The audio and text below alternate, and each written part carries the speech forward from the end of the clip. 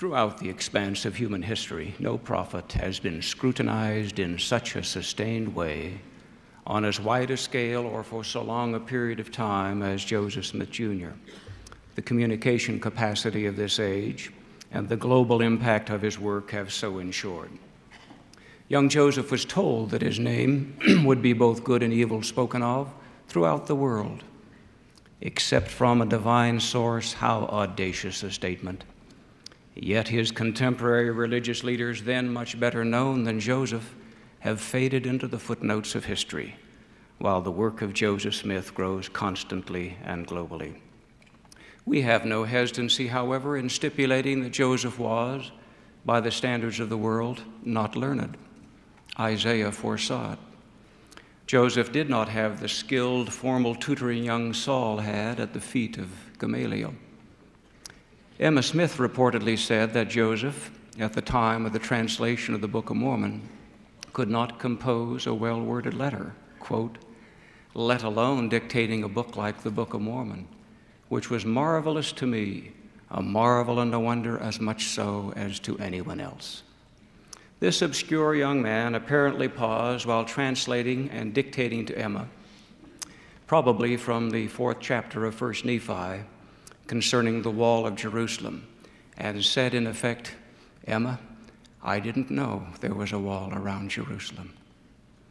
But Joseph's keen mind was being awakened and expanded as the tutoring words of the Lord and of past prophets flowed through his quickened consciousness. In fact, he was the very seer foreseen anciently by the earlier Joseph in Egypt. In a prophetic father's blessing given in December 1834 to Joseph Smith Jr., Father Smith confirmed those promises given the ancient Joseph and pronounced added blessings, including these upon young Joseph. Thy God has called thee by name out of the heavens to do a work in this generation which no other man would do as thyself. The ancient Joseph looked after his posterity in the last days and sought diligently to know who would bring the word of the Lord to them. And his eyes beheld thee, my son, Joseph Smith Jr. His heart rejoiced and his soul was satisfied. Young Joseph also heard his father promise, Thou shalt like to do the work which the Lord shall command thee. Earlier, during the approximate 90 days of translating, Joseph was processing, and at a remarkable rate, truths and concepts of immense significance beyond his then capacity. A few gems only from that treasure trove. Could Joseph have been expected, for instance, to appreciate fully that through him would be given the only significant scriptural elaboration of one of the most fundamental and demanding declarations of Jesus? Verily I say unto you, except ye be converted and become as little children, ye shall not enter into the kingdom of heaven. Through Joseph Smith's translation came these stunning, defining, and sobering words about what childlike and saintly submissiveness really means. And becometh a saint through the atonement of Christ the Lord a child, submissive, meek, humble, patient, full of love, willing to submit to all things which the Lord seeth fit to inflict upon him, even as a child doth submit to his father. Likewise, Paul wrote that since Jesus was tempted, he understood how to succor us when we are tempted. Yet it was through Joseph Smith that these confirming and clarifying words of Alma were given. And Jesus shall go forth, suffering pains and afflictions and temptations of every kind. He will take upon him the pains and sicknesses of his people, that his bowels may be filled with mercy according to the flesh, that he may know according to the flesh how to succor his people according to their infirmities. Illuminated also was petitionary prayer. Whatsoever ye shall ask in prayer, believing ye shall receive. Plain and precious and needed light was added to those words through Joseph. And whatsoever ye shall ask the Father in my name, which is right, believing that ye shall receive, behold, it shall be given unto you. He that asketh in the Spirit asketh according to the will of God, wherefore it is done even as he asketh. Not only did confirming and clarifying truths flow through Joseph, but also rich language and deep concepts from Ammon. How blind and impenetrable are the understandings of the children of men, for they will not seek wisdom, neither do they desire that she should rule over them. Yea, they are as a wild flock which fleeth from the shepherd and scattereth and are driven. From Jacob, ye have broken the hearts of your tender wives and lost the confidence of your children. Because of your bad examples before them, many hearts died, pierced with deep wounds. From Amulek, who finally triumphed over ambivalence. Nevertheless, I did harden my heart, for I was called many times, and I would not hear. Therefore I knew concerning these things, yet I would not know. Theology and beauty combine again and again in the pages provided through Joseph, as when the resurrected Christ appeared in the Western Hemisphere. And when Jesus had said these words, he himself also knelt upon the earth, and behold, he prayed unto the Father, and the things which he prayed cannot be written, and no tongue can speak, neither can there be written by any man neither can the hearts of men conceive so great and marvelous things as we both saw and heard Jesus speak. And no one can conceive of the joy which filled our souls at the time we heard him pray for us unto the Father. Serious study of the blessed Book of Mormon admits one to a wonder world of complexity and beauty even in the midst of the book's simple but powerful spiritual refrain. We are given that which we most need, yet we are athirst for more. Granted, whenever the words of heaven are filtered through mortal minds and tongues, there is some diminution. Yet, as with Nephi of old, so it was with Joseph Smith. If ye shall believe in Christ, ye will believe these words, for they are the words of Christ and he has given them unto me. Joseph later learned to express his own thoughts inspirationally, as in his forgiving letter of 1840 to a betraying but repenting W. W. Phelps. It is true that we have suffered much in consequence of your behavior. The cup of gall, already full enough for mortals to drink, was indeed filled to overflowing when you turned against us one with whom we had oft taken sweet counsel together and enjoyed many refreshing seasons from the Lord. Had it been an enemy, we could have borne it. However, the cup has been drunk, the will of our Father has been done, and we are yet alive, for which we thank the Lord. I shall be happy once again to rejoice over the returning prodigal. Come on, dear brother, since the war is past for friends at first are friends at last. Was Joseph imperfect like other prophets? Of course. Surely Joseph could identify with these words of an ancient prophet, which he translated Condemn me not because of mine imperfection, neither my father because of his imperfection, but rather give thanks unto God that he hath made manifest unto you our imperfections, that ye may learn to be more wise than we have been.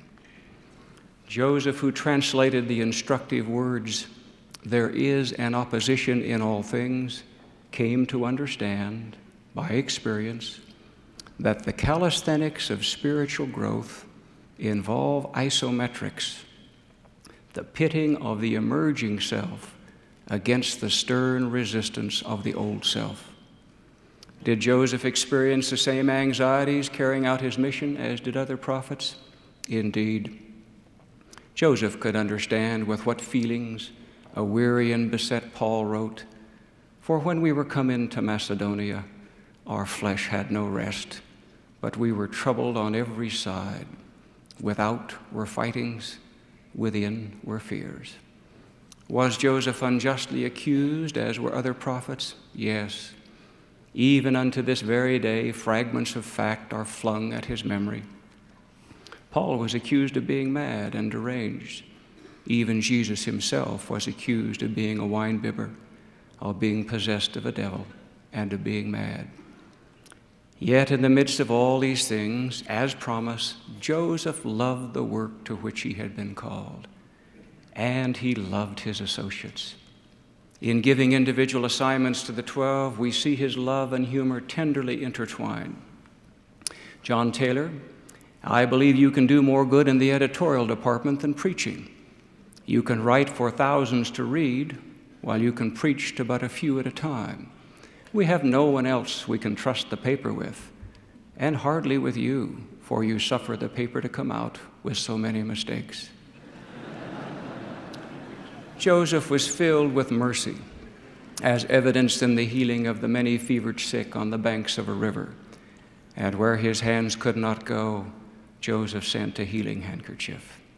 He sorrowed over his loss of a newborn child and would sit on his porch rocking a daughter of Sister Margaret McIntyre. One evening, he did not come home with the child at the usual time, and mother went down to the mansion to see what was the matter. And there sat the prophet with the baby wrapped up in a little silk quilt. He was trotting it on his knee, singing to it, and getting it quiet before starting out. Was Joseph a leader servant? Demonstrably. A girl and her brother were struggling in the deep mud on their way to school. The prophet Joseph stooped down and cleaned the mud from our little heavy laden shoes, took his handkerchief from his pocket, and wiped our tear stained faces. He spoke kind and cheering words and sent us on our way to school rejoicing. In fleeing with Joseph from a mob, a young man reported, Sickness and fright had robbed me of my strength. Joseph had to decide whether to leave me to be captured by the mob or endanger himself by rendering aid. Choosing the latter course, he lifted me upon his broad shoulders and bore me with occasional rest through the swamp and darkness. Several hours later, we emerged upon the only road and soon reached safety. Joseph's strength permitted him to save my life. A victim of intolerance, Joseph Smith was deeply offended when a Catholic convent was burned in New England, lamenting, yes, in sight of the very spot where the fire of American independence was first kindled. Maligned even today, Joseph once declared, I am just as ready to die defending the rights of a Presbyterian, a Baptist, or any other denomination. However, most mortals misunderstand the significance of Joseph's ministry, but the adversary surely did not. Unsurprisingly, Joseph Smith Jr. was still growing spiritually and intellectually when he was murdered. Yet Joseph lived long enough to, quote, lay out the plan of all the work which God has given you to do, end quote, as promised in the blessing from his dying father in 1840. Now the ends of the earth inquire after his name. No wonder and admiring but dying Brigham Young's last words were Joseph, Joseph, Joseph. Thus, those who revile Joseph Smith will not change Joseph's status with the Lord, merely their own. Instead, as promised Joseph in the 1834 Father's blessing, Thousands and tens of thousands shall come to a knowledge of the truth through thy ministry, and thou shalt rejoice with them in the celestial kingdom, and thou shalt stand on Mount Zion when the tribes of Jacob come shouting from the north, and with thy brethren, the sons of Ephraim, crown them in the name of Jesus Christ. Some may seek to explain Joseph merely by attaching to him the generous adjective remarkable. Joseph was remarkable, but much more importantly, he was instrumental. Even now, one hears faintly the distant but approaching drum roll of history, building towards a crescendo of mortal recognition when all shall see things as they really are.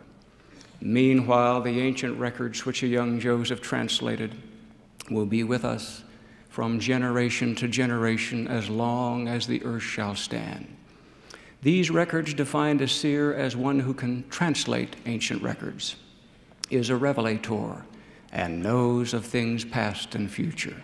Such a seer, wrote Ammon, is greater than a prophet. Therefore, brothers and sisters, I have no hesitancy, only gladness in declaring my everlasting admiration for Joseph the seer. I thank the Father for providing such a seer. I thank my Lord and Savior Jesus Christ for calling, directing, and tutoring Joseph. Humbly, I give apostolic praise to the man who communed with Jehovah. In the name of Jesus Christ, amen.